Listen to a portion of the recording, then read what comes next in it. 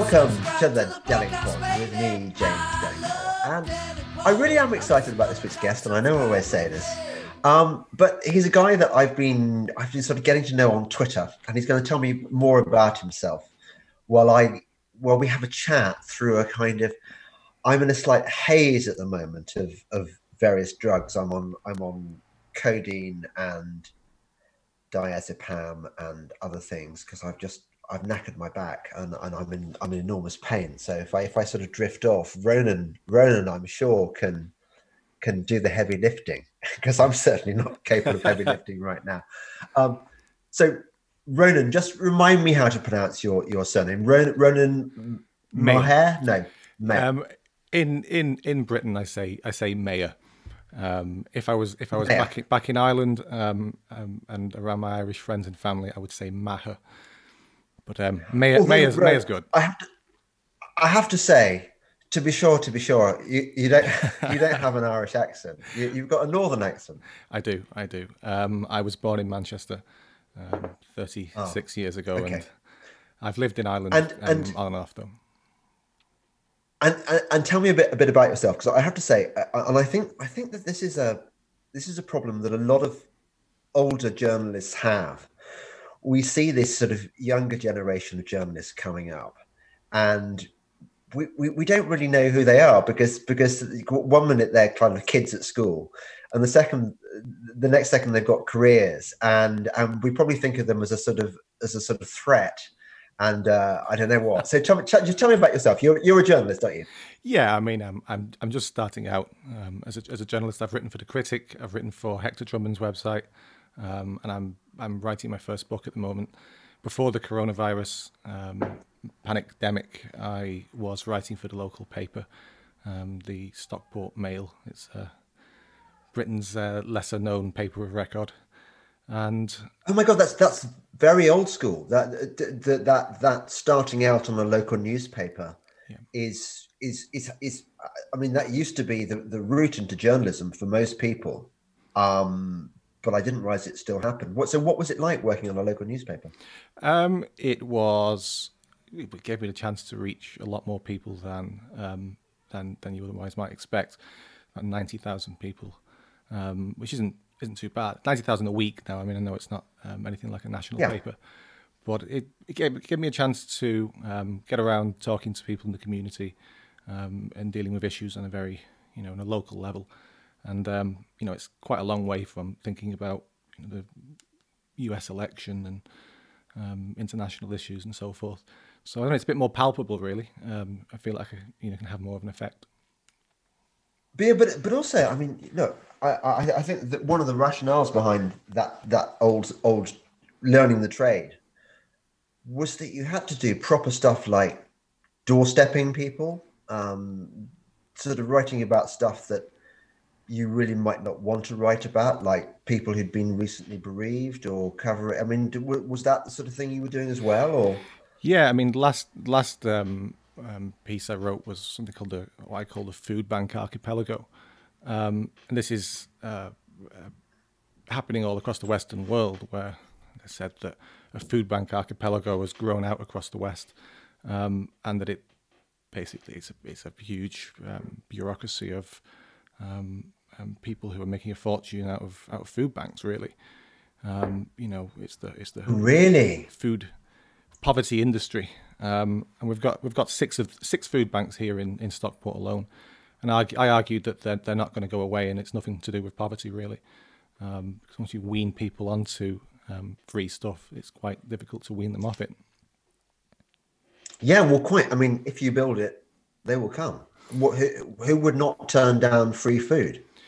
Of course, this is it. You know, I mean, I remember when um, um, Domino's Domino's offered free pizza one day, um, free slice of pizza, and there was a there was there was a queue um, all the way down the road.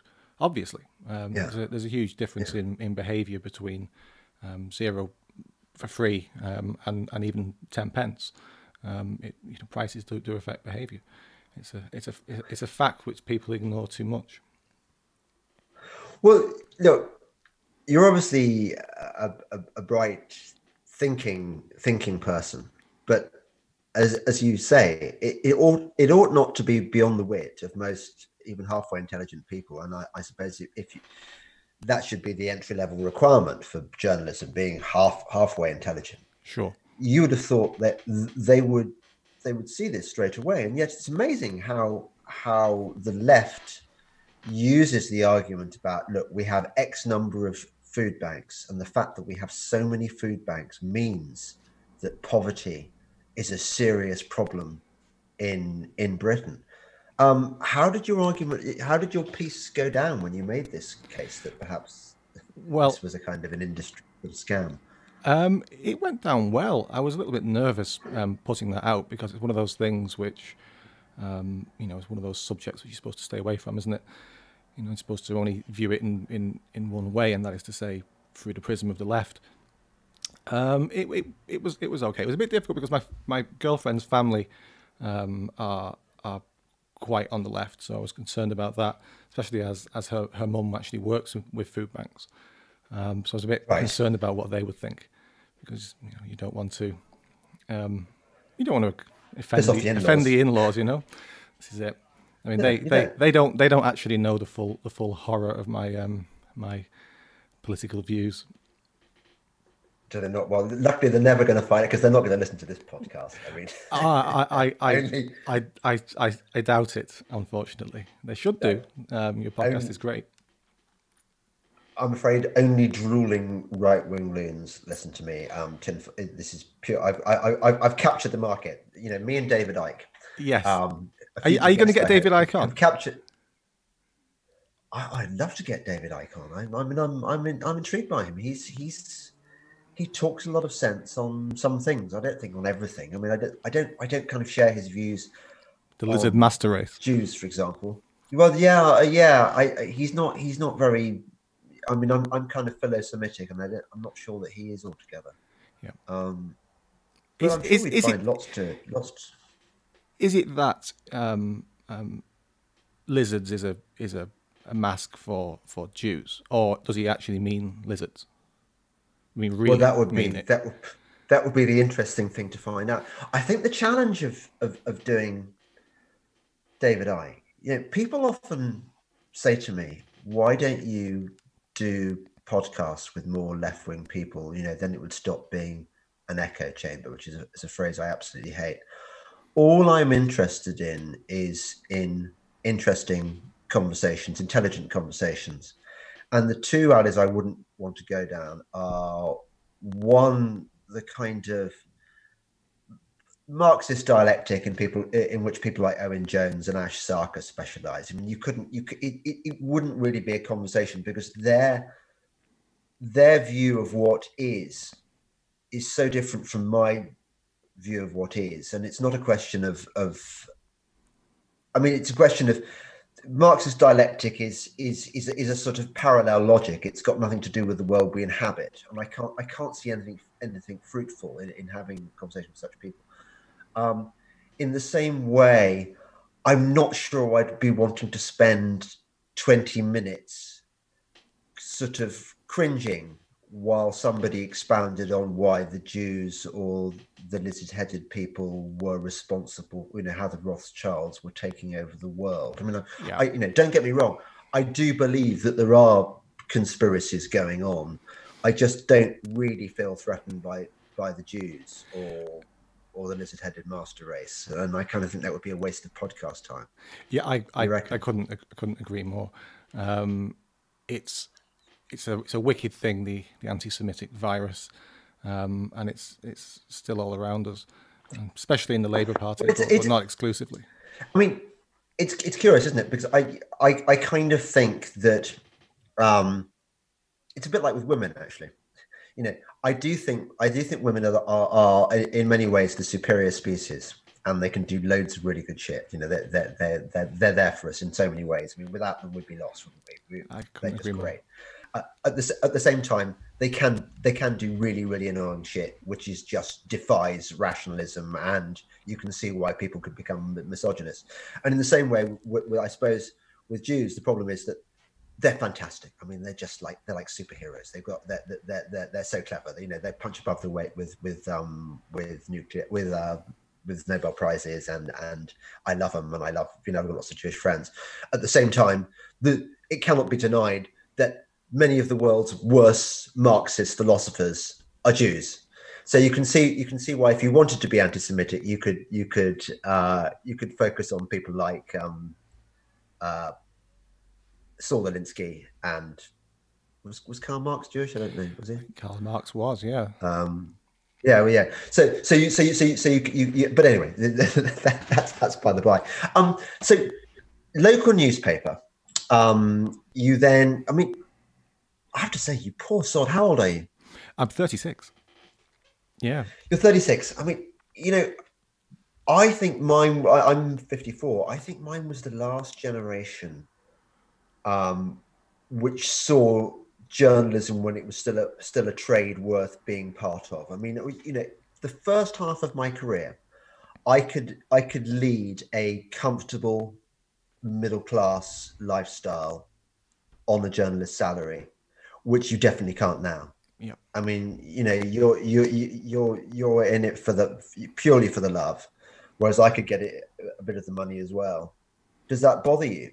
Um, it it does. Um, I'm I'm studying law um, part time oh, part time at night, so I have a, I have a backup. Um, I originally studied English and uh, English language and English literature, the same as as you. Um, but oh, yeah. It was it was at Leeds University, and it was a horror story. Um, I mean, the first week I arrived, was it was, was it told that I should read the Guardian, for instance. Um, it was it wasn't it was I mean it was it was critical theory. Um, um, every Oh, every oh, that's day practically. Um, Marxist uh, drivel, mumbo, jum- mumbo jumbo shoved down my throat. Um, I hated it with a, with a, with a passion, and I love it. I love English. That's I awful. Love, I love I love literature. So it was um, it was it was hurtful in in ways. Um, extremely um, um, irritating too because I moved over from Ireland, um, especially to to study at Leeds, and I arrived there and found mm. it was uh, like a Maoist re-education camp.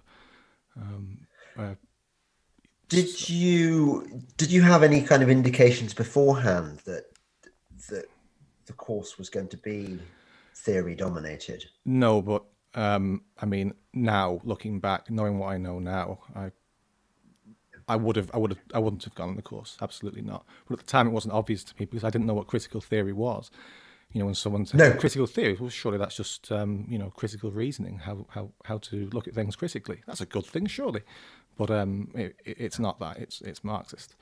Um, attack everything in the West, yeah. try and pull it down, um, and do it through do it through um, the prism of of literature, um, destroying books like Heart of Darkness, for for example, where everything is is seen as as a patriarchal um, oppressive, racist, misogynist. Racist, yeah, of course, racist, yeah, misogynist, yeah. ignoring absolutely. ignoring that, that Conrad was a was a was a was a truly great novelist, um, writing in his second language, of course, too. That didn't matter to them really very much. It, sort of didn't it, seem it that way anyway. It it reminds me a bit of a, there's a piece I read yesterday, I think, um, in the Guardian of all places, where a an art critic was talking about how people who've, who've read history of art no longer have the capacity to be able to differentiate between quite similar artists because they haven't been taught about that aspect of art. They haven't been taught about painting techniques or or or, or styles or or or schools or whatever they're more in, interested in the kind of the social aspects of the world that produce the art and the kind of you know the phallocentric you know the i suppose the fact that women women are outnumbered by men and this this this, this i mean it is cultural marxism has infected i think most of the most of the liberal arts and uh, so that part of me understands why why people sing the praises of STEM subjects and and and are down on the arts. So I think that's a mistake. I think that there are pockets. I mean, my my, my kids are both studying English at Durham, and although there is one compulsory critical theory paper, um, which my son certainly massively ripped the piss out of. You know, he just kind of he.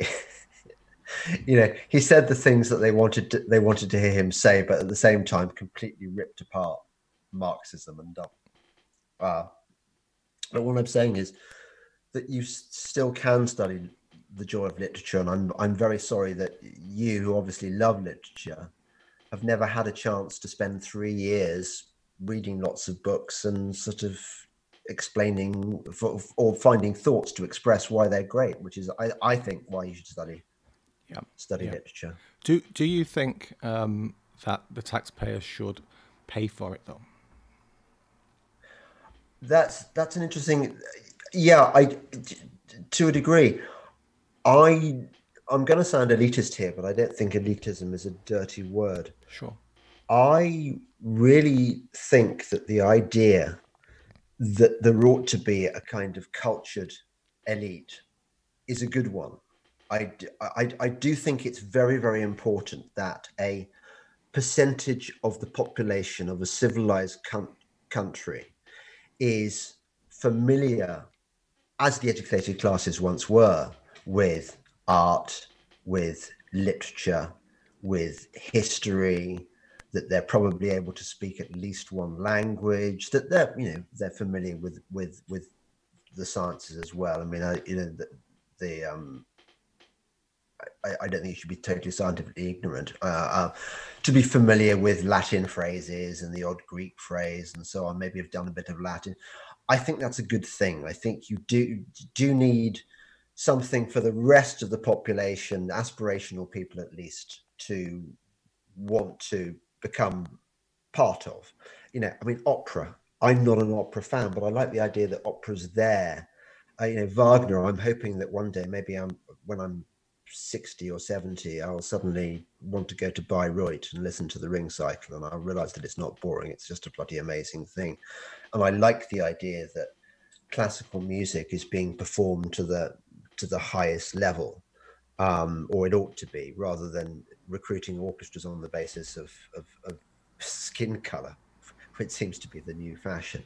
Um, So what I'm saying is, going back, I think Tony Blair utterly destroyed um, education, university education in this country by, by imposing this 50% quota, when in fact, I think probably only 10% or 15% of the population is really suited to, to that to, to that level of education. I think most people should be going on from school and having an apprenticeship or something actually useful where they can earn earn a good living. Um, so I wouldn't have any objection to you know, my generation, of course, got a free education courtesy of the taxpayer. I'm not sure that's such a terrible thing. I mean, you know, I can see the counter arguments. It's not something that I, I would. It's not a hill I want to die on.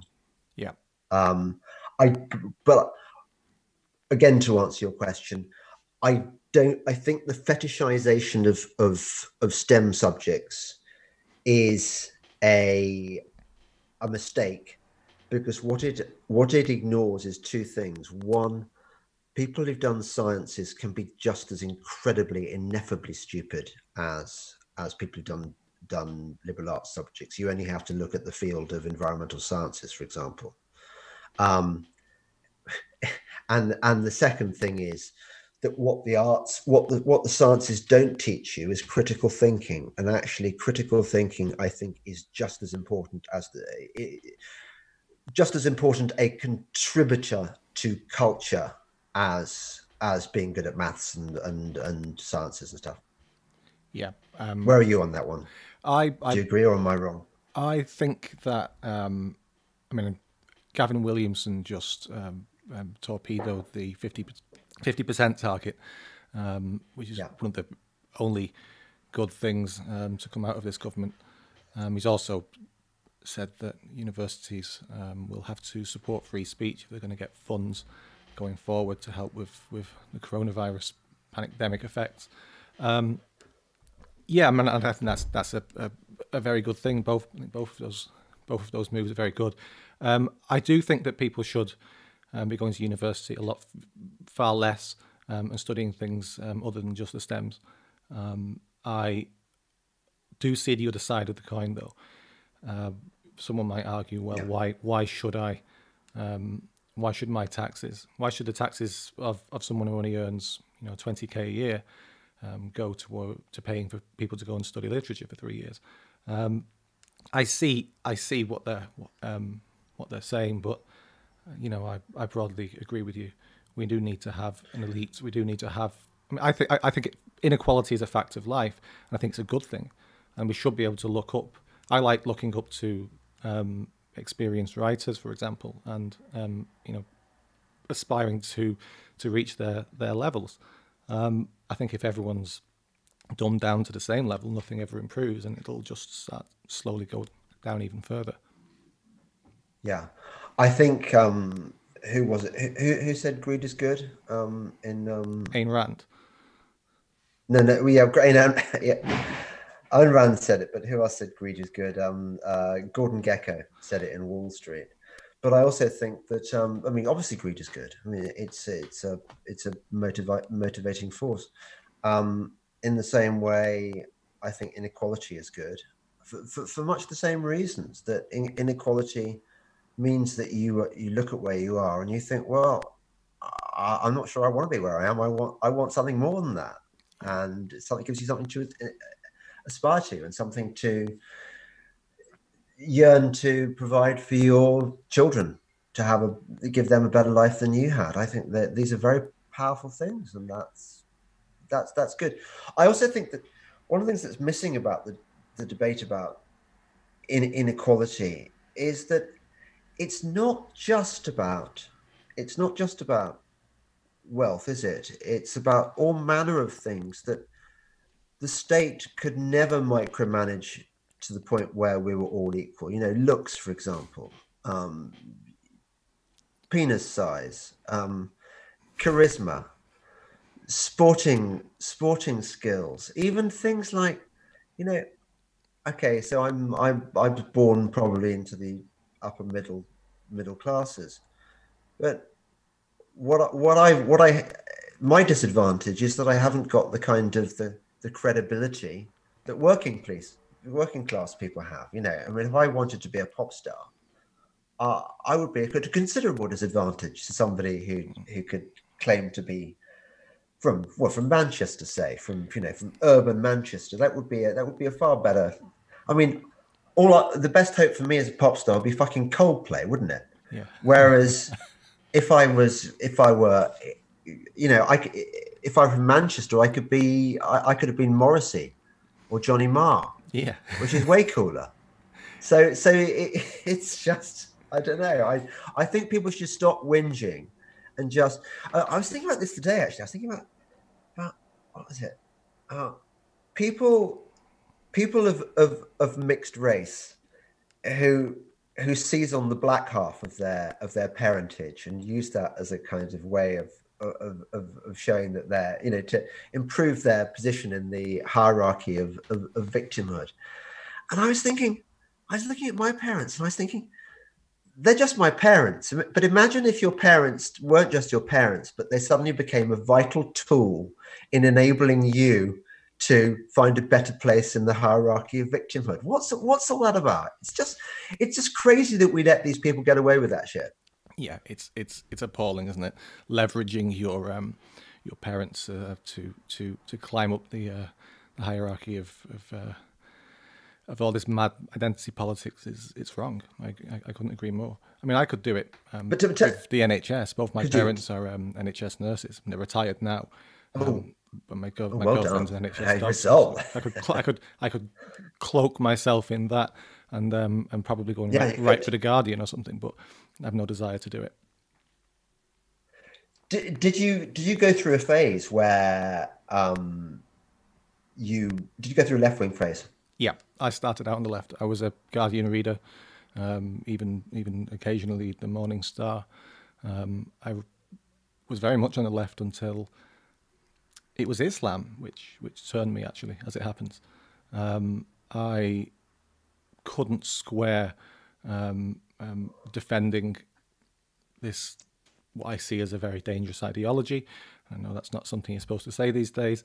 I mean, you've had Tommy Robinson on your podcast um, several times, so you know all about this stuff. But yeah, uh, the way they treat women, Jews, um, gays, uh, I just I found it absolutely appalling, and I couldn't understand why it was being defended by people on the left.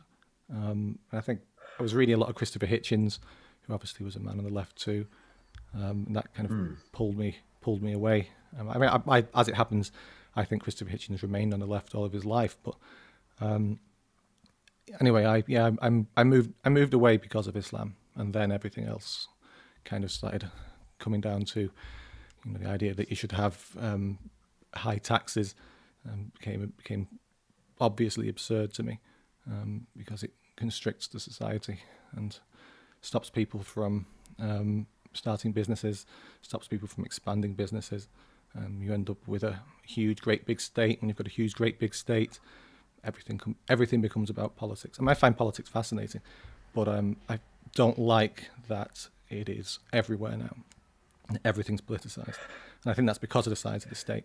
You know, and a, a whole host of other things. Just I, I don't know. Do I have any left wing opinions now? I don't know. I'm not sure. They've all they've all kind of they've all kind of gone. You know. It, well, it depends, I suppose, what how you define left wing. I mean, yeah. I, I I'm just racking my brain to think of what left wing opinions I hold. I mean, for example, I don't think we should have bailed out the banks in 2008. I think that's, that's arguably a right wing opinion, though, isn't it? Well, you see, that's the thing. You see, uh, but but but Occupy, who are about as left as they come, I think are always whining on about how we, we bailed out the banks. So it's interesting. There's a kind of nexus there, isn't there, where between us kind of Hayekian sort of von Mises kind of classical liberals and and the really hard left. And I suppose again I'd be I'd be with George Soros on drugs legalization. Um, I mean I can see the harm that they do, but I you know this is where I differ from Peter Hitchens.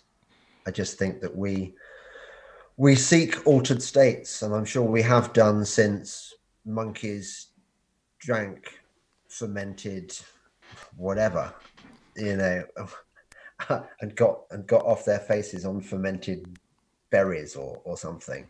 It's just it's drinking just reindeer piss. We like to do. Drinking what? Sorry, reindeer piss. Yeah, yeah. Well, re- drinking. A very good point. Drinking, drinking reindeer piss. I, I think partly it's a function of the fact that I'm not. I, I don't know whether you found this with your circle of friends some people lend themselves readily to alcohol and can handle it, and some people are much better off with the weed.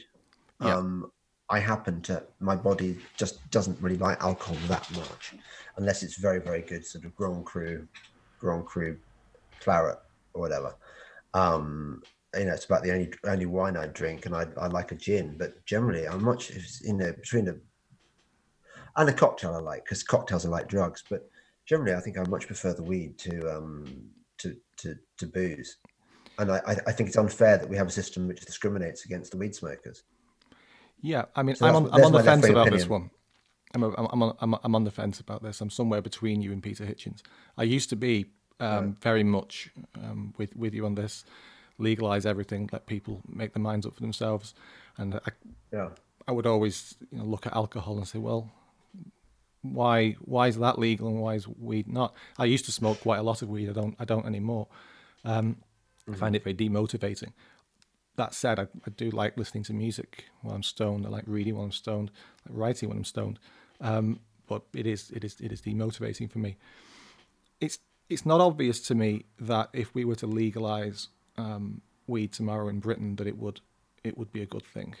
It's not obvious to me that it wouldn't end in in um, in disaster. I mean, my girlfriend is a psychiatrist, and she deals with um, people who've who've got, I mean, marijuana-induced psychosis. Yeah. Um, yes, indeed. All the time, um, and these people are, are, are a mess. Now, I, I, I know I know the, the pro legalization side of the argument will say that um, um, there are other confounding factors, and that the weed, it wasn't the weed. The weed is incidental, um, but I I don't know. I'm not I'm not I'm not convinced. There does seem to be um, a lot of evidence that um, it's maybe not for everybody, but for some people, it's it's it's bad. And if it's Oh no, totally. I, I don't think you even need to argue with that. I, I, think it's a given. I think I think lots of people are being made psychotic by, by the weed, and people who smoke too much of it and stuff. But the thing is, it, I'm not sure that that that legalization would make these people smoke any more than they do anyway. I think they're probably already smoking to the max. you know, I don't, I don't think you're going to housing estates and things and finding people are thinking, well, I would get off my face on weed if it were legal, but the fact that it isn't illegal is making me think twice. It's you know it's there, so why why waste the criminal justice system on you know, prosecuting and persecuting people who are going to do this thing regardless? A bit like it's a bit like prohibition. I mean, you you could because you could make the same argument about about booze, couldn't you? I, I know loads of people whose whose lives have been ruined, quite quite ruined by you know they are just husks, promising people who have just been wrecked by alcohol. Yeah. And not to mention the sort of violence and car accidents. So I, I don't know. That, that that would be my rationale. It's not, you know, it, it's certainly not the, the, the weed is harmless rationale. It's more that like prohibition, it doesn't work. Yeah, I think didn't more people um, drink during prohibition than before? Didn't it virtually promote drinking in some ways. Is that right? Yeah, yeah. I'm, I'm, I'm almost sure sure of that. Yeah, I, mean, I I don't know. I'm on the fence. I I, I want to to say I agree, um, and I'm almost there, but I'm there's a niggling doubt there that it would end well. I I think that if it was available, um, um you know, on the high street, what's what's left of the high street, um, in supermarkets, yeah, or, uh, you know, I, I think more people um, who would not um, have otherwise smoked would start smoking, and that they might. Yeah, I don't know. I'm not sure. I'm not sure. To, but it would revive. It's happen but, anyway. You just given you, you, it could revive the high street, Brendan. That, my God, my God, how much, how much do the high streets need? I mean, what's what's what's happening to our country? I mean, how bizarre is if look if you'd written a dystopian novel in even in 1919 and you'd called it 2020 and you'd outlined the stuff that's happened this year you yeah, it would just be i don't know uh, would anyone believe it? I i, I think, think, fiction so. is dead. I think fiction is dead. I i, I don't know how how um how you can beat this um by making it up.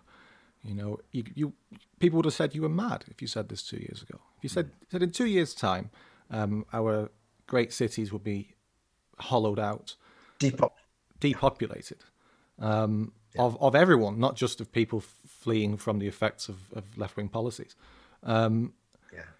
And yeah, because you because you, you you'd have gone the city of London, well at least the city of London. That's never going to kind of empty because like finance, it's the beating beating heart of our economy and bankers work really hard they're never not going to turn up to the office and yet and yet um, carry it's, on it's it's happened um, you know if, if, if you said that, that that we would be um, instructed to um, stay at home in other words put put under de facto house arrest by, by the government yeah. Um, for a, for a, a, disease which is um, no more dangerous than the flu and even less dangerous than the yeah. flu by orders of magnitude for very young people and, and that and that most of us would would um, comply willingly and um, ridicule those who um, um, say that it's wrong and that it's damaging.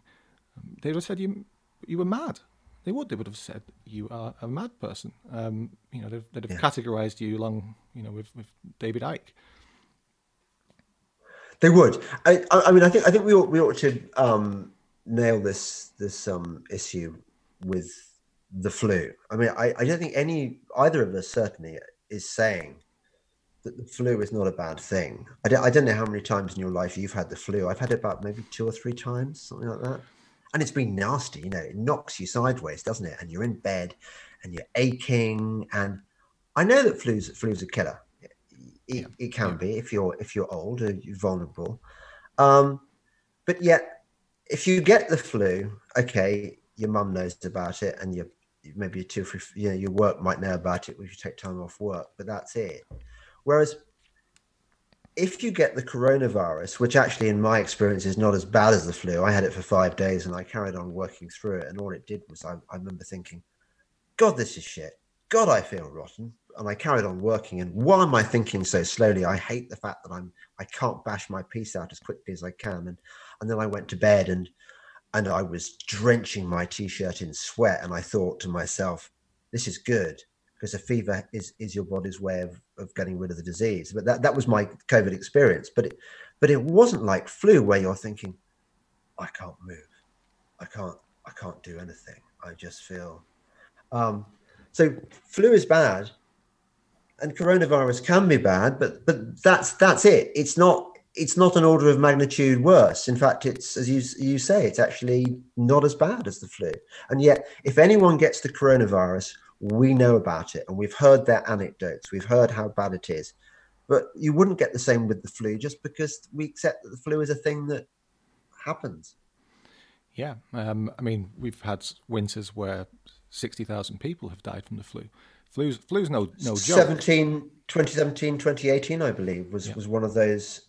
The excess winter deaths, I think, were sixty thousand, which is more than we've had in 2020 of coronavirus. Exactly.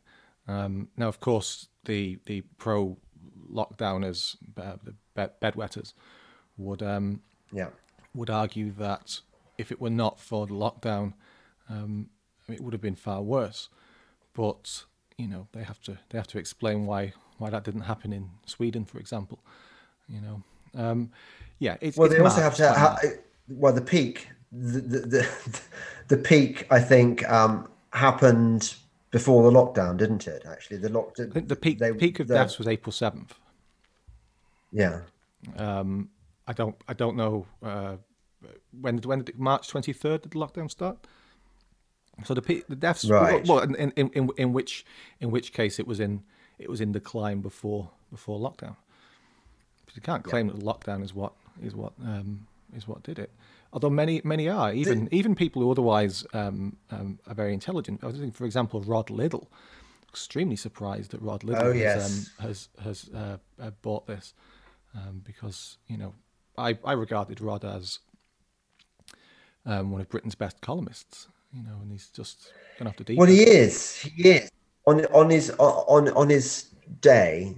Rod is unbeatable, but on not on his day, he can be quite, you know, a, bit a bit disappointing. In the same way, I, I really don't like slagging off my my mates because I'm very fond of Rod and I'm very fond of of Douglas. But there was there was a very well made point in a letter that Peter Hitchens wrote to um, the Spectator. I don't know whether you saw it. I didn't. Douglas Douglas wrote a piece saying, "Well, you know, I really don't know what to think about the coronavirus and the and the, and the policy, but I'm glad I'm glad that um, people like Peter Hitchens are out there with their contrarian voices."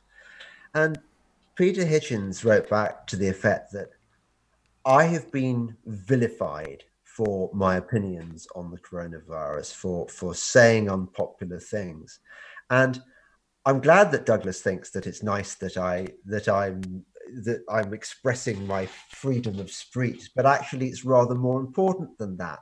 And this is not one of those issues where you can sit on the fence where and say, "Well, I really don't know," because actually, you, one is perfectly capable. Any intelligent person you don't need to be a virologist, you don't need to be an epidemiologist or any scientist of any kind to look at the charts, to look at the evidence, to, to, to, to look at the range of scientific views which are being expressed and they're available because of this wonderful thing we have called the internet. We can see this stuff.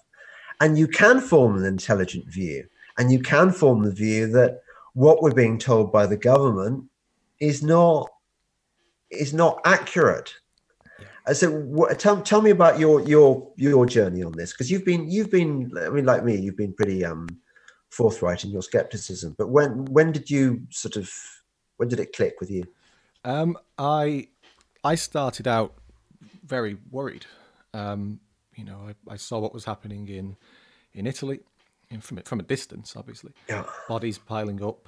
Um, yeah. I saw what was going on in in China, welding people into yeah. apartments and all the rest of it. And yeah, you um, you you like like me, you'd seen the stuff on on sort of the back channels on Twitter and stuff, and you've been following this stuff, and you're thinking, yeah, people being welded into their buildings, yeah. and the stories about the mysterious um, composition of the pyres that have been spotted by satellite, you know, yeah. of of clearly biological way, uh, basically humans being burned.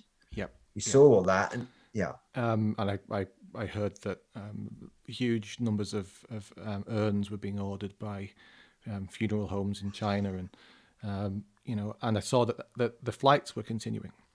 That our borders were still effectively wide open. Uh, nothing was being done, yeah. and I have older. Um, my my dad's not in great health. My mum's got health problems too. Um, you know, I've yeah. got other family members who are who, who are older and I'm not in great shape. You know, I yeah. wasn't worried so much for myself because um, I figured yeah. that it was highly unlikely that it was going to be um, something that's going to hurt hurt me badly. I mean, I, I agree with what you said earlier in the conversation about the flu.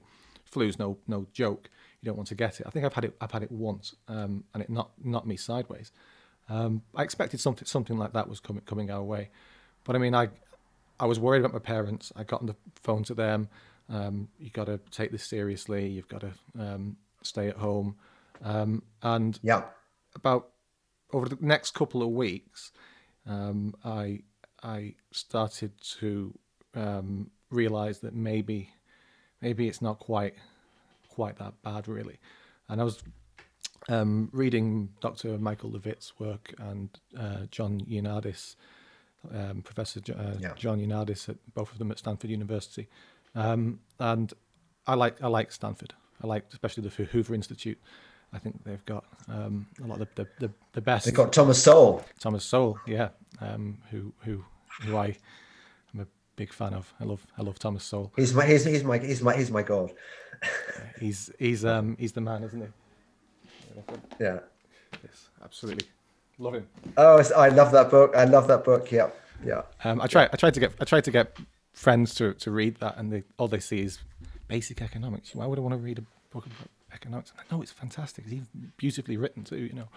Anyway, um, I I listening to, to to those guys in the United States, and um, and so suddenly it started to look not that not that not that bad. You know. And I remember that fateful mm. weekend where um, Boris moved from um, on the Thursday. He was he was um, saying we we need to isolate ourselves if we're sick, um, and then by Monday he was locking the country down after the media went mental um, um, in response to the Professor Ferguson doomsday report. and it, by then I was by then I was fully fully against it. Um, I was I was arguing that um, anyone anyone who who says that the army should be out on the streets against the British people was was, was quite mad, um, and that, that we needed to we needed to um, protect our liberty. Um, I, I, believe I believe that um, it's now under great threat. And that was right. yeah. Yeah. Well, so and, and where? By the way, do you are you are you in London or in Manchester? I mean, I'm in Manchester. I'm just outside of Manchester. Yeah, Manchester. Yeah. Well, your your sort of friendship friendship group. Um, where where are they on all this? Uh, there's a mix. I know I, I, I do I do have friends who um are, I love them dearly, extremely bright people, um, but they they think that the lockdown was the right thing to do. Um, and they beyond beyond just thinking that it was the right thing to do at the time with the information that we had then, they think it was effective. Um, they think that it was it was it was the right thing to do, even um, in hindsight, and that that boggles my mind a bit. Um, but then I've got I've got other friends who um, are right there with me and think it's it's crazy. Um, my parents, my my mum's a bit on the fence. My dad's fully. He, he listens to your podcast. Um, He's he's right there, right there with us. Um, he goes. Right. He's been going out for quite a while. Um, he doesn't consider it to be a threat to him at all. Yeah, it's Yeah. it's, it's um, My dad's quite quite militant as well. he's, he's mil- mil- mil- militantly. Uh, he he's he's a skeptic. Yeah. Yeah, yeah. Oh Yeah. God, yeah. You know, he's, I mean, he's you know, he's he he he'd be happy to die for the for the principle of of um of his freedom to go out. Yeah, yeah. He's been because he had he had heart surgery um late last year, and he got a message saying, you know, a, a printed form saying, you know, if you've had this surgery, you need to take exercise and you need to get back working. So when they closed the car parks on the Malvern Hills where he used to walk, he would find somewhere, you know, in a private road and park there and defy the police. And you know, he he wasn't having it at all. I'm very very proud of him. He he, he claims that I've sort of radicalized him, but I I, I think he's I think I think Delingpoles actually all have a very bloody minded streak because my mother's the same. They just we just don't take any shit. I don't know why. I don't know. I, I'm I'm fascinated by that aspect of evolutionary biology. What it is that that predisposes some of us, and it doesn't it doesn't seem to be an education thing. You know, you can have had the same education and everything, same social background, but you can reach completely different conclusions. And it seems to me to be the way that our brains. Are, you haven't got kids, I imagine, have you? Not yet. No. No.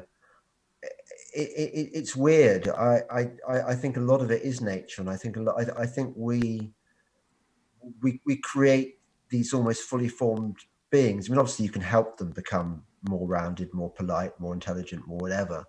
But I think generally, people's politics are actually hardwired into them. That's that. That's Um, interesting. I've I've I've I've not I've, I've not heard that before. Um, I think that our personalities are um, um, inherited, not entirely, of course, but I do think they are largely inherited. I don't, I don't buy into the blank st- blank slate theory or any of any of that nonsense. Um, I think we, we, we inherit we inherit traits. Are you are you are you arguing that that um, our politics is shaped by by those traits, or do you, what do you, what do you mean when you say we they're hardwired? Well, you see, it's interesting. Interesting. What what I what I've what I've read about about this is that people say that actually, as a parent, you don't really have much influence on your children's um, development beyond a certain point. Their their personalities and their politics and stuff. That peer group pressure has a much more important role to play, which is which is quite interesting. But I mean, what do I know? I've I've only been observing this from the experiment of my own children. how how, how old are your children, me- James? Well, you see, I've got three. I've got a grown-up one who's not. He's not. He's my stepson, but he's like mine. He's I like I've had him since he was six, so he's you know he's my my boy, and I think of him as my boy. Um, and he shares my politics. Um, so so that would go against you know that that that does sound like a nurture argument. But then I look at my two, you know, the other the other two, and um, they're really they, they try and fight it. You know, daughter tries to be a feminist because you know that's what girls are like when they're when they're teenagers. You know, I'm not a feminist, definitely not. But I just I just get from my observations that, that so much of the, of the their Weltanschauung, as it were, is is really just like it's it's hardwired into them. You know that they're they're not going to turn out to be leftards. they're just not. I hope. You you you you hope what what would you what would you rather they be um, left-hearted or Scientologists? Oh, I don't know. That would be weird. That would be weird if they were Scientologists. Um, I don't know. Um, I do you know what? I think I, I think actually, and you'll find this when you become a parent, that you just want them to be happy. Yeah. Really, you just want them to to to be happy and fulfilled, and you have to accept that if they turn out to be gay, or or um Christian or or left wing or whatever, you just got to kind of love them for who they are. Are you are you religious? um, I, to a degree, I when they were younger, I took them to church, and I thought it was a very important part of their upbringing. That this is their this is their culture. I, I, I talked a, a, bit about this to um, to Nick Timothy, um, I had on the podcast the other day. Yeah, I used to enjoy going to church. I, I, think it's really important that every British child should be aware of the Christian tradition of their culture.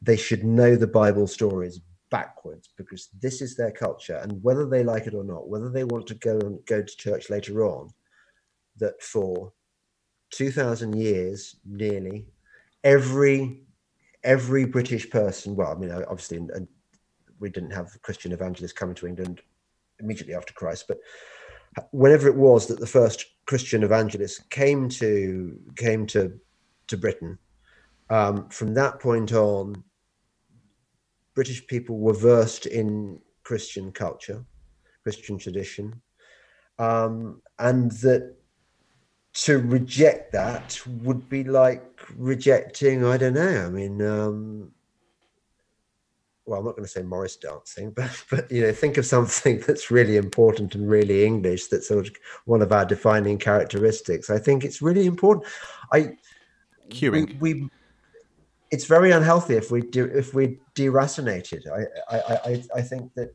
this is where i don't like the kind of globalist vision of people like george soros the idea that we should all just be this homogenous mass. I think it's really good that when you go to Germany, I went to Germany, I spent a three weeks living in Germany in Frankfurt, and I had a, such a happy time there. Um, just just immersing myself in German culture, and you know a bit of the language. And um, I went out one night to this to this bar with this German, and while we were having dinner, this man came in in this strange outfit with they it wasn't lederhosen but it was a sort of weird it was a weird um, traditional outfit.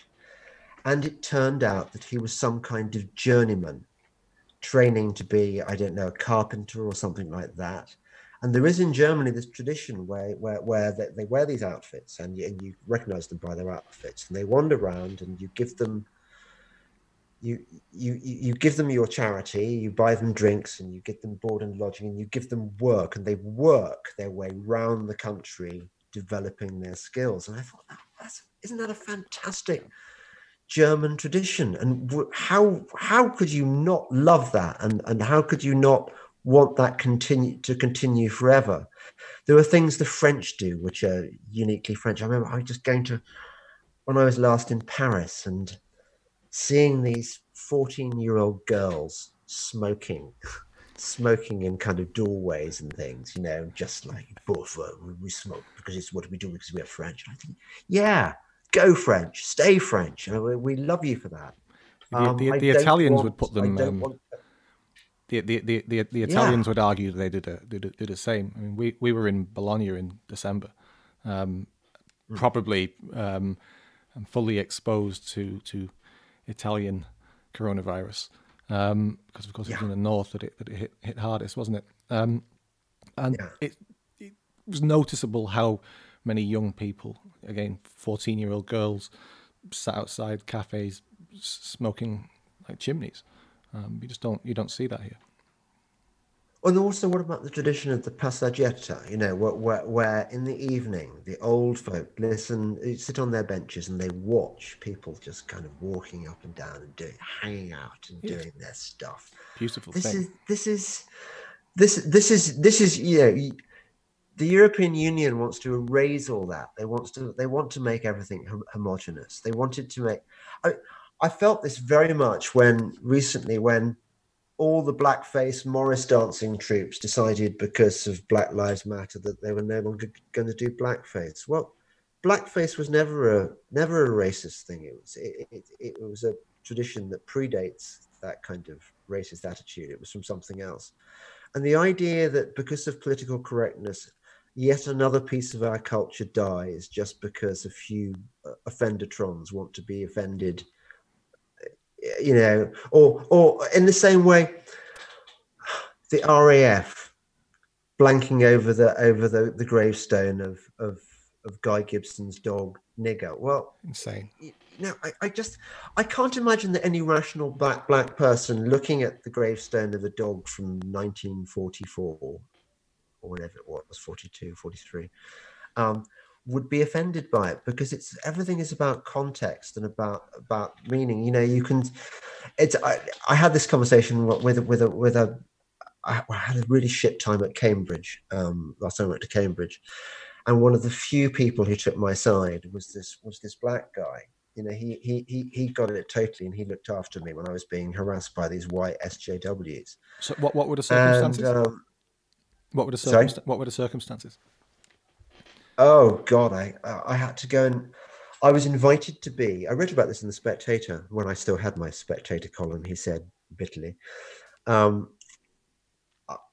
I was invited to talk to the uh, the annual Christmas dinner of the uh, the Cambridge Conservatives, and I gave this I gave this speech, and I, I was thinking on the way there in in, in my car, I, I was driving up because I, I, I tend to write my speeches at the last minute. I was thinking, what can I how can I entertain them in this politically correct world when you can't say anything? And I said, uh, and I, I was, I was describing I wanted an analogy to describe how much the world had changed between the time I was at university. Um, you know, when I was quite familiar with Cambridge as well as Oxford, because you know, the, we, I remember going up to the the varsity boxing match at Cambridge once. There was a sort of friendly rivalry between, you know, we used to call the Cambridge people tabs, um, tabs, and dismissively, you know, like it's rubbish university, you know, sort of inferior to Oxford and so on. Anyway, I was thinking, you are you are a persecuted minority at Cambridge now. You have a really shit time. So let me give you a bit of a bit of taste of the old values. I, so I described a previous visit that I'd made to Cambridge, um, where I had found in the bar about two or three or four conservative undergraduates who told me about how tough it was being a conservative at Cambridge, and they the feeling I got was that that they were a bit like Catholics in the reign of Elizabeth or, or Protestants in the reign of Queen Mary. That they they you know they almost had to hide in their well priest holes if they'd been Catholics, I suppose. It they, they would they were very persecuted and they were sort of cowering and they were sort of grateful to talk to somebody who who had their back for a change and they sort of hung eagerly on my words and I was trying to describe this, and I say I was saying that it's um,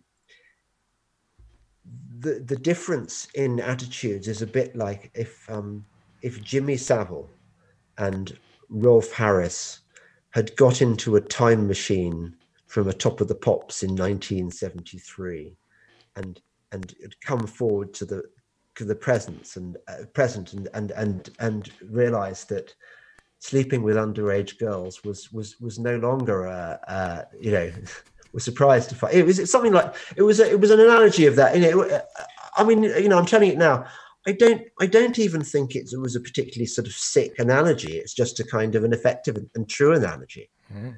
and at the mere mere invocation of the names of Jimmy Savile and and Rolf Harris, and at the invocation of in a in a faintly jocular context of of sexual abuse or paedophilia or whatever that this was this was completely beyond the pale of acceptability. It was so unfunny and people started walking out as i and, and i'd just been warming up at this stage in my speech. And once once people start walking out you, you, you can never recover. You can never you know it was a very unsatisfactory experience and i i didn't deliver the fun thing i wanted to deliver and the guy who'd invited me basically sort of completely fucked me over. He he he he didn't he didn't go. I'm really sorry, mate. You know, there's, there's a few people here. You know, that they just reacted badly. Uh, he just he just just just fucked off. You know, I, I left me in my misery.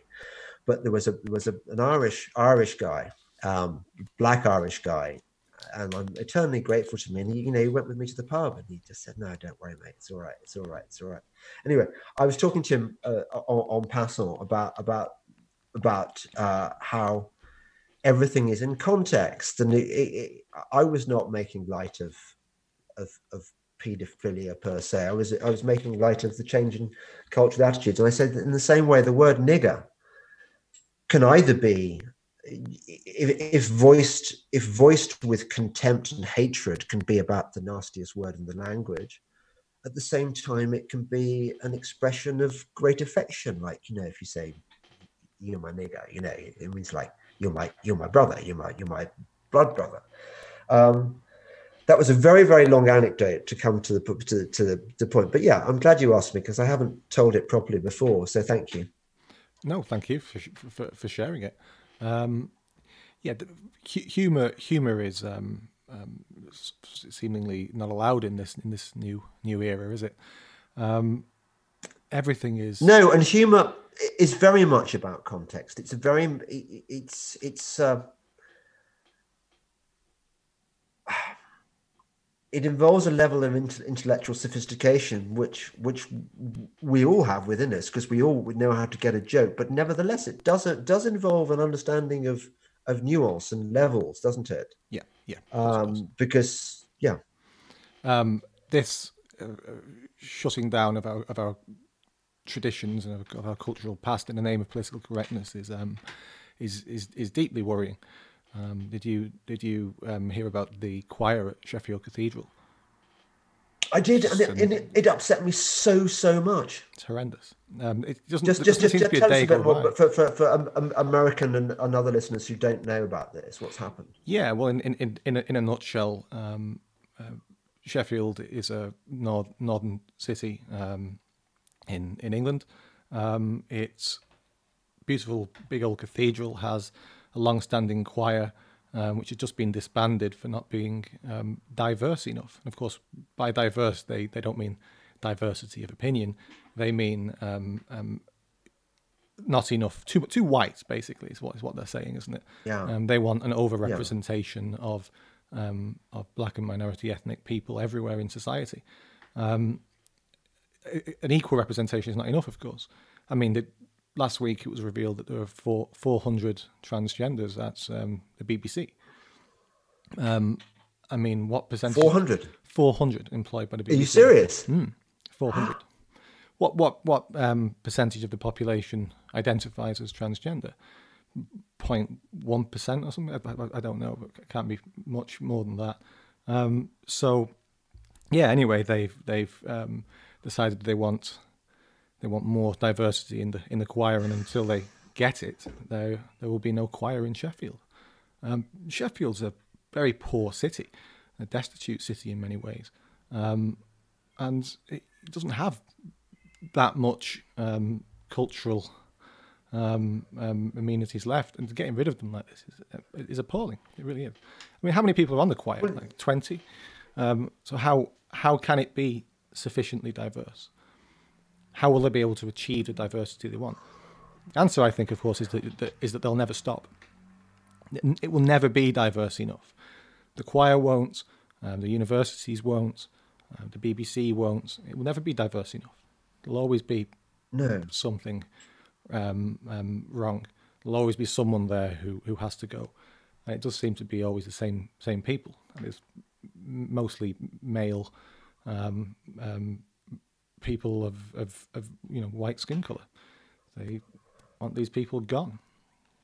I mean, I I try yes. not to buy into.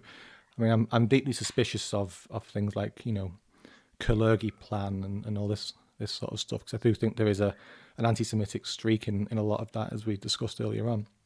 Um, tell, tell me tell me about about the Kalergi plan briefly because I've, I've I've I've sort of seen it referred to and I'm not sure how how much into David Icke territory it is and how real it is? Um, I don't know that much about it. I just there's a guy called Coudenhove Coudenhove Kalergi. Um, basically, he the conspiracy goes that that um, the white race is being eradicated, and that the European Union is yeah. and the United Nations um, and all those those those entities are, um, are, are working towards the eradication of the white race. Um, I I don't I don't buy into that myself. Um, I think that there are other things, there are other ideologies driving those organizations. Um, you know, I don't think it's it's it's that. But that, yeah, that's that that's the Kalergi plan.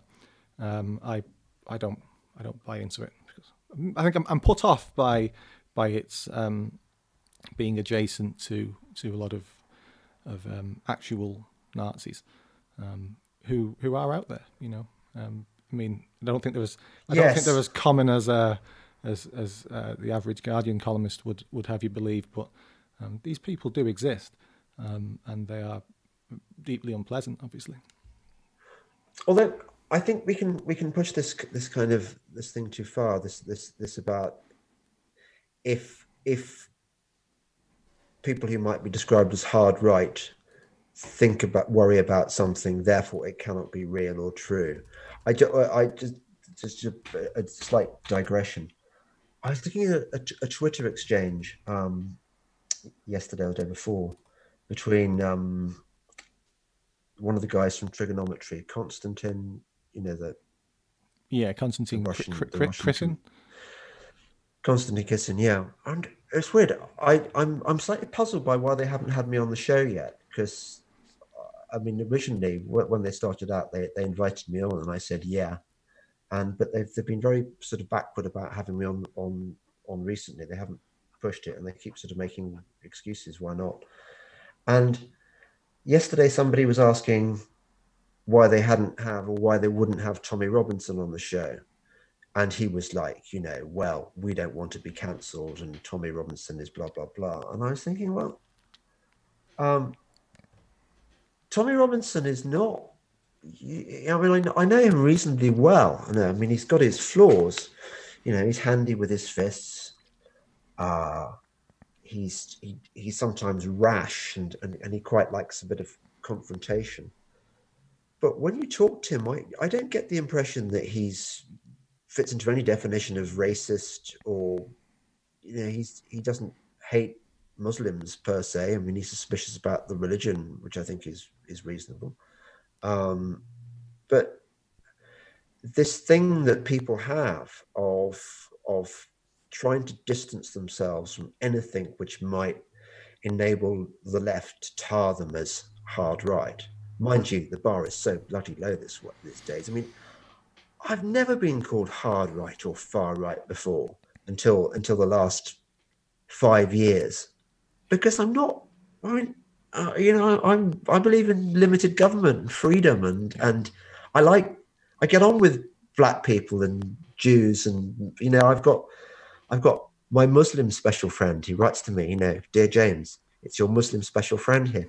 I mean, I, I don't think that if I were if I were really racist or Islamophobic, I'd have Muslims writing to me saying, I'm your Muslim special friend. Maybe I'm wrong. But it's extraordinary how to have even this conversation, I imagine there's going to be leftists, if they listen to it, who'd think, yeah, these, these are a pair of evil fascists. Sure. Um, Why? What have we? It's what happened. It's um, um, it's strange, isn't it? I mean, as as it as it happens, I I place fascism on the left. I don't think. Yeah. Oh, so do I. So um, do I. I, don't, I, I, I, don't um, um, I don't accept that the further right you go, um, you know, the, the, the more like Hitler you become. I, I think that's that's absurd, and in, in actual fact, um, in actual fact, they both both fascists and and com- communists look to um, utopia um, um, for, for guidance, which is a Thomas Thomas More's utopia is a left left wing um, vision. Um, this idea that you can you can perfect mankind is is not a right wing um, view at all. Right wing people see that um, human beings are inherently flawed, imperfectible, um, and that you just have to to um, learn to live with that. And that's obviously what limited government's about, isn't it? Um, you can't you can't have it is well, well the, the, that's that's the the definition that Hayek preferred was was collectivist, and he he defined you know he said look communists and Nazis are both collectivist ideologies, and he made very little distinction between the two, having seen both in action when he wrote that book in 1944. Yeah, yeah, wrote wrote, wrote a serfdom, yeah. wasn't it? Um, have you read Liberal Fascism by by Jonah Goldberg?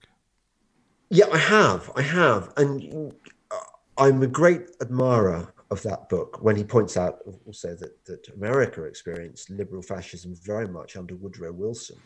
I mean, when you look at look at what America was like during the first First World War, it was fascistic. There's no question about it. And and I hardly think that FDR's confiscation of gold was was not a pretty fascistic measure, not the sort of thing you'd associate with the the land of the free and the home of the brave. So yeah, I mean we're I, I, I do worry that that what's happening to our world now is something that you and I growing up never imagined would happen. This was this was the totalitarianism we're experiencing now was something that happened behind the Iron Curtain and in South American banana republics and in African countries run by dictators and in communist countries, but not not in the West. No way. Yeah, it was uh, unimaginable. Um, I, as a as a boy, uh, uh, remember hearing the word Nazi and, and words Nazi and fascist in relation to to um, Mussolini and Hitler and um, neo-Nazi um, in relation to sort of skinheads beating up Jews and gays in the streets and so on. Um, these words yeah. really meant something. They were they were powerful words, like racist. If you call someone a racist, it, it meant something. That was a that was a heavy, um, um, hard hitting word. And now now these these these um, things just rendered they've rendered been rendered meaningless. Um, and we have all around us speech codes based based um, upon the notion that that these these are problems um, all over. Britain is not a racist country. I don't believe that Britain is a racist country. I actually I, I, find Black Lives Matter deeply offensive. Um, you know, I find yeah. it for, for a whole host of different reasons, but um, that that that perhaps above all, um, it's not a racist country. We're not racist people. We're extremely tolerant. Um, all the um, um, best data on the subject shows that we're far more tolerant than our neighbours on the continent. Um, and I don't think that continentals are um, terribly racist people either. Um, yeah, it's it's it's very very strange. I could never have imagined it. Um, so the, the, speech the no. speech codes, the speech codes especially are um, are extraordinary. I could never have predicted. They are extraordinary. They're, no, you're right. They've they pathologized normal behavior. For example, when I when I get talking to somebody with a different color or a different accent or whatever, one of the first things I want to know is about where they're from. You know what what their what their background is, because I think getting to know somebody is about getting a feel for who they are and where they're coming from. That's a microaggression. These are now, these are microaggressions. so being polite and being interested being curious is a microaggression. Yeah. It's it's so I would consider it rude not to ask somebody about where they're from and because you, you can have good conversations. I mean, I love. I love talking to Pakistani taxi drivers about what's going on in Pakistan, you know, and getting a you know, you, it's how you find out about the world, isn't it? Yeah, yeah. It's so um, strange. It's like they want to make us into uh, in, incurious meat robots, um, which you know is, is, meat is, robots. Like is is, yeah. is hor- horrifying. You know, sort of Marx, Marxist Leninist sausage factory, and churning out these these meat robots. Um, I I don't want to live in a country like that. I don't want to live in a country where um, everyone is the same. You know, you mentioned earlier the the European Union's desire to um, uh, extinguish the ancient um, evolved nation states of, of Europe, Italy and Fran- um, France and Greece yeah. and all these different countries, and to have one uni- universal European. I mean, European is meaningless, isn't it, really? Um, there's no such thing as a European as such. I mean, it's a geographic term, I suppose, but, God, no. but I mean, how different are Germans and Greeks? Um, how wonderfully different are Germans uh, and Greeks just, and just French bit, and yeah. Italians and, you know, um, I, I like that. I like those differences. Um, those are those are fascinating countries with, with, with, fascinating histories. It is it is about Germany though, isn't it? It's about um, Germany getting rid of, of, of you know Hitler from its from its from its past. Yes. Yes. And that's what's what's driving Yes. it. What do you think is driving it here in Britain? Oh, um, it's a it's a combination of things. I mean, it's a a function partly, I think, of the dumbing down of our education system. Um, well, it seems a bit too pat to talk about um, Gramsci and I think it was Rudi Dutschke, wasn't it, who came up with the phrase "the long march through the institutions." Not Gramsci, but Gramsci sort of formulated the idea. Um, but I think that there is no question that our entire I keep thinking about these book ideas, which I then fail to write because I, you know, I- haven't got the time or the inclination and stuff. But one of the books I wanted to write was about was called something like Paradise, uh, Parasite Wasps, um, and I was thinking of the wasps that lay their eggs inside the um, the spider, and then the the, the the the eggs as they they hatch, they eat them their way through the body of the spider and they feast on its on its living body and they emerge and i think something similar has happened to all our cultural institutions. I mean it's obvious that the universities have fallen. There is there is no diversity of thought in our universities anymore. And even you know i was at university in the uh, 80s and there were definitely i don't think i was taught by any of them but there were definitely dons there who were of the who were conservatives rather than Labour. I think all my dons were probably left, but they never showed their left left wingery. It was all about the literature. It wasn't about the politics. Oh, oh, I had a Marxist. I had a I had a feminist Marxist called Penny Boumelha, and Penny Boumelha took me for George Eliot, and I was terrified when I heard that I was going to get a feminist Marxist. Um, but when she marked my essays, she didn't mark me down for not being a feminist Marxist. She was she was great, and it, I, I think back then it was okay. And now they're all they're all hard left, and and and I think they're they're shameless about showing it. But it's not just the schools and the universities; it's institutions like the law firms, even even sort of crusty chambers are now are now recruiting people for their because they're women or because they're black or or, or, or both rather than because they're the best person for the job. Um, look at the army. Even the army has been um, SJW converged. Look at the adverts they produce now. Look at the look at the look at the firemen. Firemen don't exist anymore. They're now they're what are they called? Firefighters. And when I drive past, there's there's a I, I drive to, through a, part, a place called Long Buckby, um, and I look at the billboard outside the fire station, and the recruitment dri- drives aimed at women and aimed at aimed at minorities. And you're thinking, well, okay, there aren't many minorities around that. You know, it's rural Northamptonshire, number one.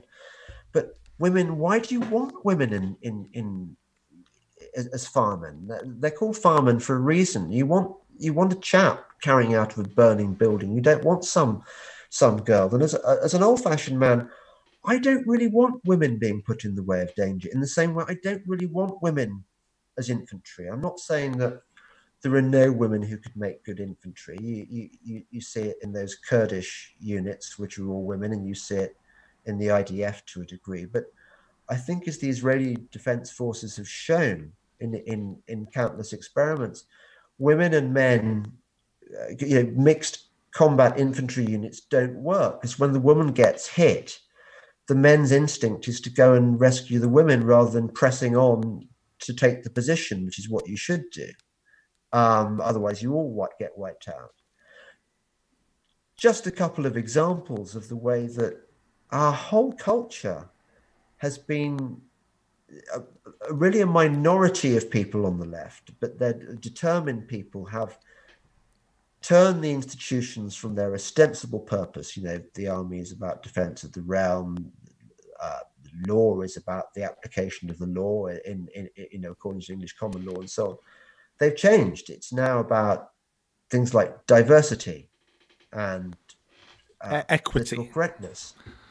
Equity. Yeah, yeah, exactly. I mean, that's one of the. That's almost the most dangerous idea of the age. The idea that equality is something that we should we should try and create. It's, equality is not a very good goal.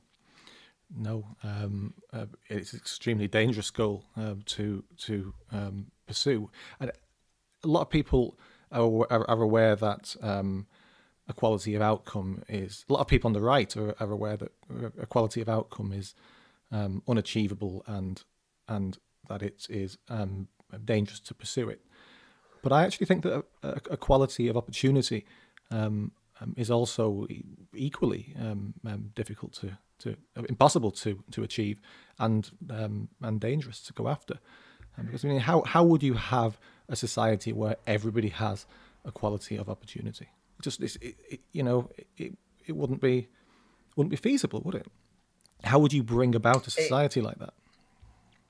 It, it, it wouldn't be achievable and it's wrong you know you don't want i mean people who join the army you you want people who want to kill, yeah. basically. Yeah. I mean, the the idea that that that Scott. the army is about I don't know about about boosting your self esteem or whatever. I mean, these are these are these are adjunct things that may adjunct benefits and, and I think that they are they are true.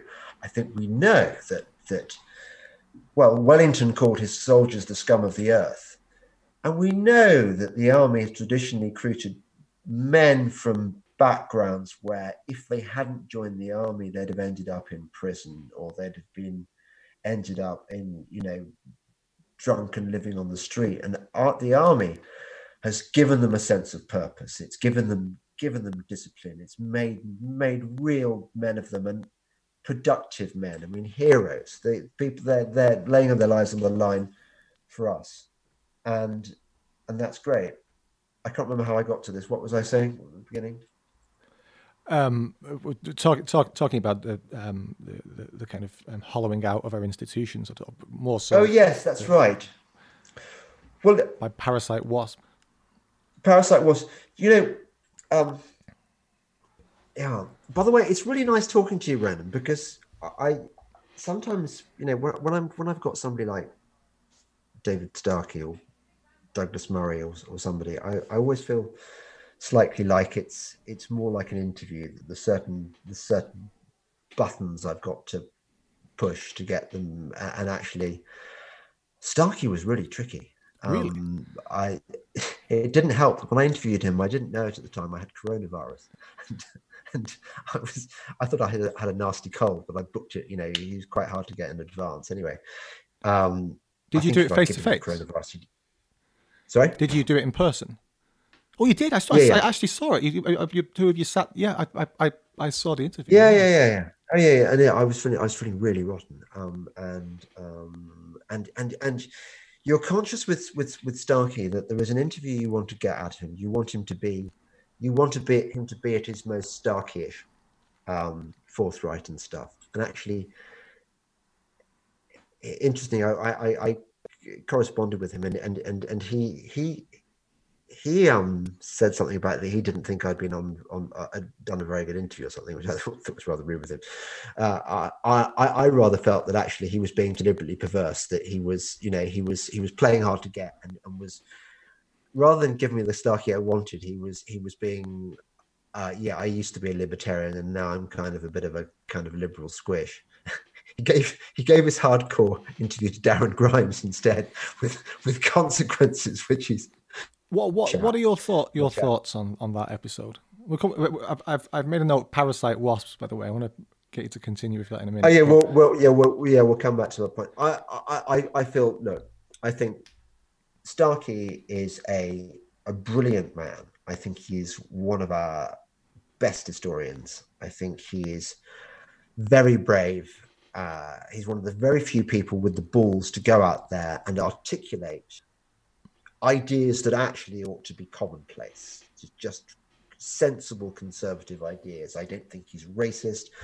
I don't think he's a bad person. I, I think he's probably a creature of his, a, a product of his generation.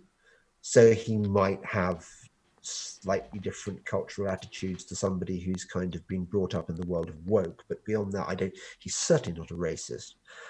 I think his his only mistake in in that he shouldn't have apologized afterwards. I mean, he, you know, they they completely fucked him up the ass and the other side with a, with a, a ginormous pointed dildo with poison tipped, uh, and he lost everything. And I think it's just it's it, it's it, it's it's illustrative of just how much the the Red Guard cultural revolution madness has gone that he can be destroyed. Look, we're doing a podcast now.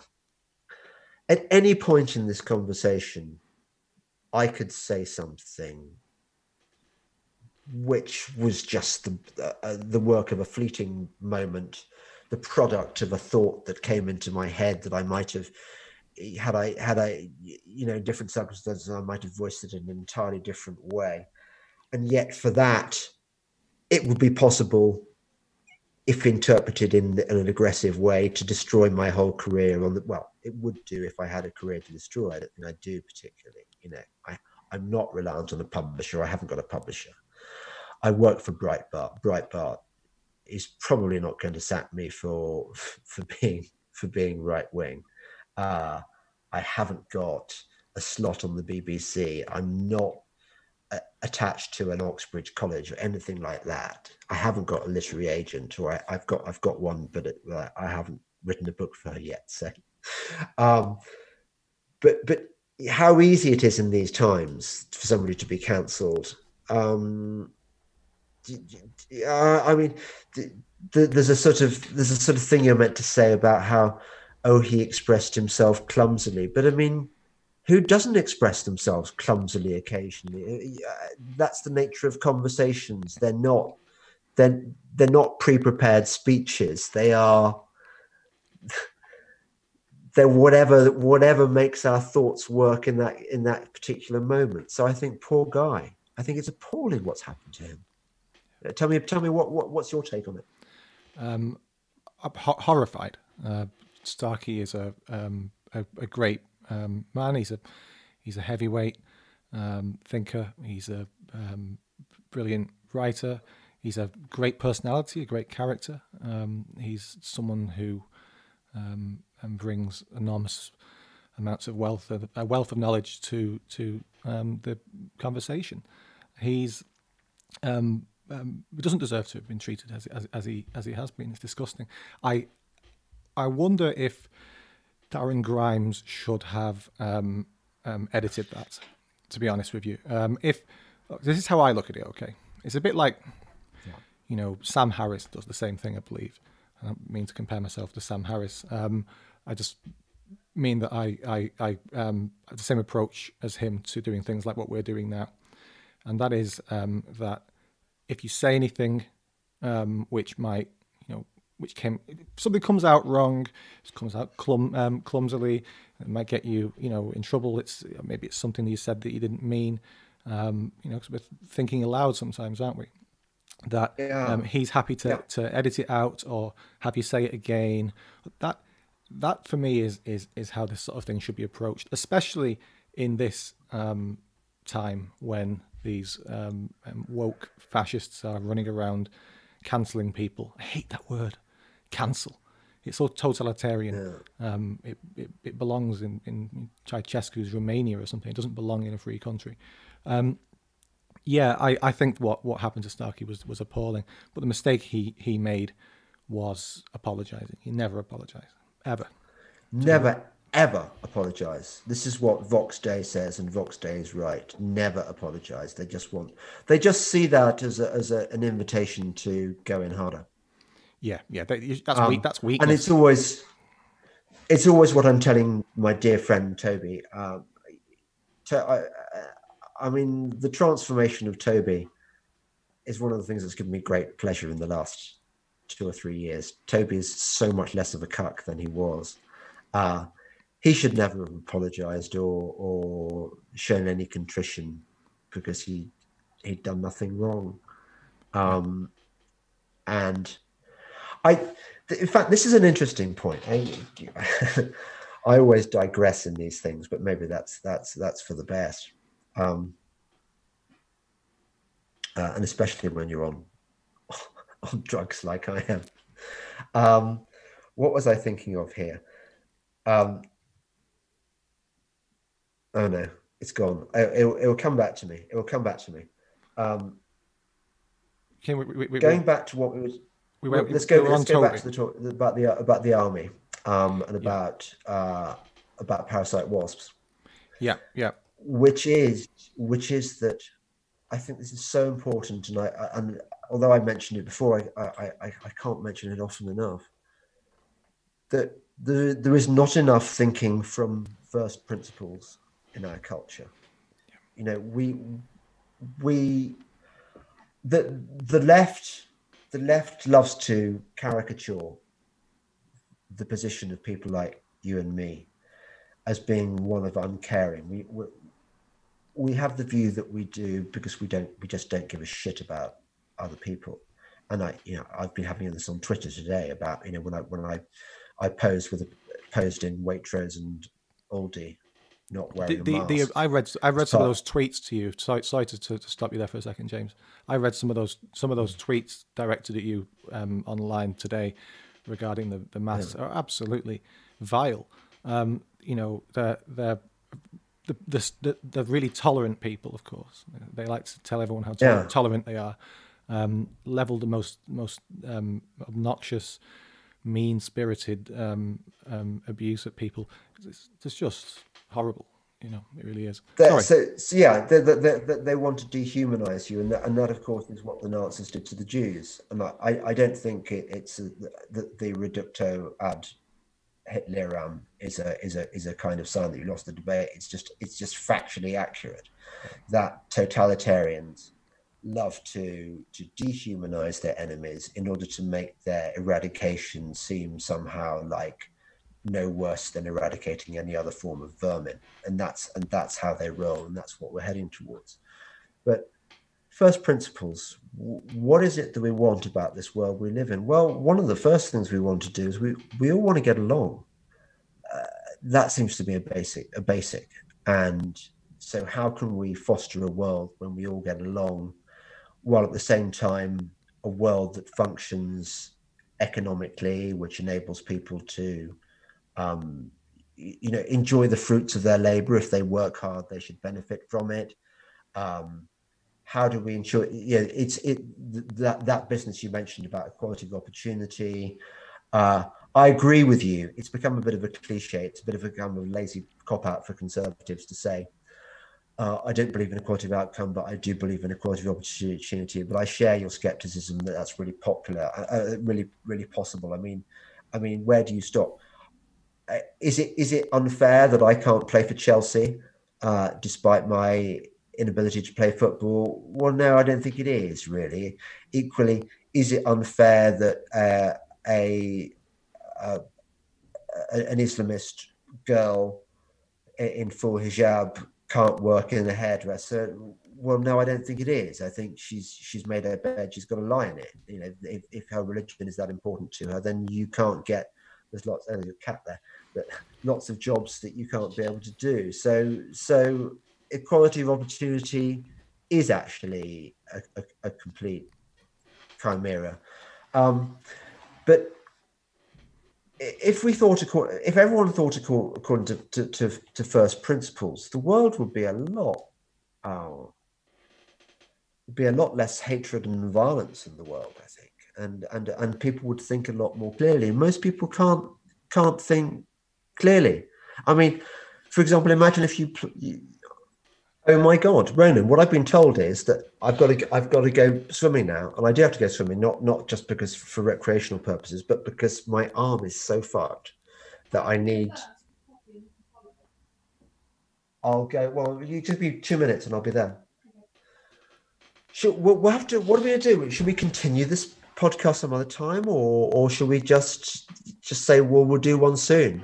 Um, it's look, it's it's it's, it's up to you. Um, I'm I'm enjoying the ca- I'm enjoying the conversation. I'd like to continue, um, but you know, uh, when whenever. Why don't what, what we do look? Best? Let's.